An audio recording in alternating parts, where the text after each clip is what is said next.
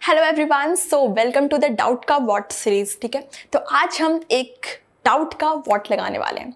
तो ये है आपके सामने डाउट और ये आपसे पूछा गया है नीट 2018 में, ठीक है बच्चे? तो ये बहुत ही इंपॉर्टेंट क्वेश्चन है और मुझे लगता है कि इस क्वेश्चन में बहुत बच्चों को डाउट होगा। क्वेश्चन क्या है आपका? अ कंपाउंड ए ठीक है? On treatment with sodium gives B ठीक है? एक कंपाउंड है जो कि सोडियम के साथ ट्रीट किया गया तो बी दे रहा है आपको। With and with P C L five वो सी दे रहा है, ठीक है? लेकिन जब बी और सी को आप साथ में रिएक्ट करवाते हो तो आपको डाइथाइल ईथर मिलता है। तो आपको बताना है कि ए बी सी जो है ऑर्डर में क्या होगा? ऑप्शन आपके स्क्रीन पे है। ये क्वेश्चन आपको नीट 2018 में पूछा गया है। तो बच्चे, आप में से कौन कौन बता सकते हो कि इसका करेक्ट ऑप्शन जो है वो क्या होगा? करेक्ट आंसर क्या होगा? ठीक है? तो जल्दी जल्दी करके जो है चैट सेक्शन में लिखो इसे। और ये भी बताओ कि आप श्योर हो, जो भी आपने बताया है, उस पर टोटली श्योर हो कि हाँ यही होगा। ठीक है? बिल्कुल हंड्रेड परसेंट श्योर ऑब्वियसली आपकी नीट का क्वेश्चन है। तो अगर आप सॉल्व कर लेते हो तो ये प्रिपरेशन तो फिर अच्छी है। ठीक है? तो जल्दी से बताओ। और तो मुझे लगता है, देखते हैं कि आप लोगों में से कितनों ने सही आंसर दिया है। तो करेक्ट आंसर क्या है क्वेश्चन नंबर वन का? Correct answer for question number question number one नहीं।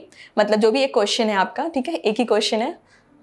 उसका करेक्ट आंसर है ऑप्शन डी तो क्या आपका आंसर सही है? लिख के बताओ, सही है क्या आंसर तो बच्चे, अगर सही है तो बहुत अच्छी बात है, ठीक है? कॉन्ग्रेट्स आपकी प्रिपरेशन बहुत अच्छी चल रही है। और अगर सही नहीं है तो फिर मैं आपका डाउट को क्लियर करती हूँ, फिर आपकी कभी गलती नहीं होगी, ठीक है? ऐसे क्वेश्चन में तो क्या है? देखो, क्या है क्वेश्चन देखते हैं। ठीक है बच्चे? तो अब हम इसे क्लियर करते हैं इस डाउट का। ठीक है, इस डाउट का हम वॉट लगाते हैं वॉट लगाते हैं। ठीक है बच्चे, इस डाउट का हम वॉट लगाते हैं। ठीक है? तो देखो क्वेश्चन क्या था आपका? एक कंपाउंड ए है, ठीक है? उसे ट्रीट किया गया सोडियम के साथ। सोडियम के साथ ट्रीट किया गया तो वो बी देता है, ठीक है? बी देता है। एंड विथ अगर ये कंपाउंड को, ठीक है? And with P C L five P C L five को के साथ अगर ट्रीट किया गया तो वो क्या देता है? सी देता है। ठीक है सी देता है। तो B and C react together अब बी और सी जब को, को जब साथ में रिएक्ट करवाया गया तो वो क्या देता है आपका? वो देता है आपका diethyl ether C two H five O C two H five ये देता है आपका, ठीक है? तो आपको प्रोडक्ट तो पता है प्रोडक्ट तो पता है, ठीक है? प्रोडक्ट पता है आपको। तो क्या करो प्रोडक्ट को ब्रेक करो। ऐसे क्वेश्चंस में प्रोडक्ट से रिएक्टेंट तक पहुंचो, ठीक है बच्चे? तो प्रोडक्ट को ब्रेक करो, क्या पॉसिबिलिटी हो सकती है? प्रोडक्ट को ब्रेक करो, इस तरीके से ब्रेक करो। ऑब्वियसली यहाँ से ब्रेक करेगा। ऑक्सीजन की तरफ़ आएगा negative charge C two H five O minus ठीक है? और इस पर आएगा सी टू एच फाइव ये पॉजिटिव चार्ज ठीक है बच्चे? ऑक्सीजन ज़्यादा इलेक्ट्रोनेगेटिव है, इसलिए उसके ऊपर नेगेटिव चार्ज आया। हमने इसलिए यहाँ से ब्रेक किया उसे, ठीक है? उसके ऊपर नेगेटिव चार्ज आया and C two H five के पास आपका पॉजिटिव चार्ज आया। इसे देख के आपको थोड़ा तो समझ आ रहा होगा कि इसमें जो है O C two H five O minus है, ठीक है? और जो है ये ये दोनों मिलके जो है आपका डाइथाइल ईथर का फॉर्मेशन किया है। ये दोनों मिलके आपका डाइथाइल ईथर का फॉर्मेशन किया है। तो अगर C2H5O माइनस है, ठीक है, आपको थोड़ा ना इसमें कॉमन सेंस भी लगाना पड़ेगा इस क्वेश्चन में कि अगर आपका सोडियम के साथ, ठीक है सोडियम के साथ अगर ट्रीट होता है, ठीक है तो अगर सोडियम के साथ अगर ट्रीट होता है, ठीक है अल्कोहल अगर ट्रीट होता है सोडियम के साथ तो क्या होता है?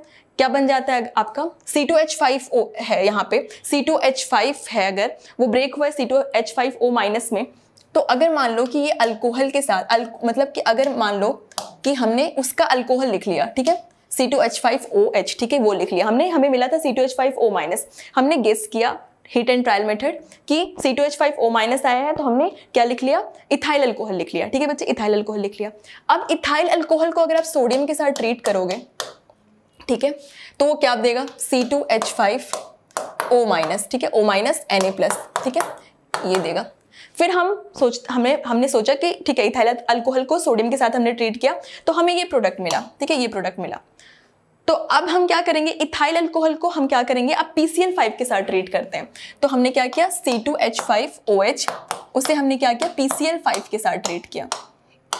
तो हमें पता है पीसीएल फाइव क्या करेगा ओ OH की जगह पे सीएल ले आएगा, इस ओ OH की जगह पे पीसीएल फाइव आपका सीएल ले आएगा। तो क्या आएगा आपका C two H five C आएगा। अब हमारे पास दो प्रोडक्ट है।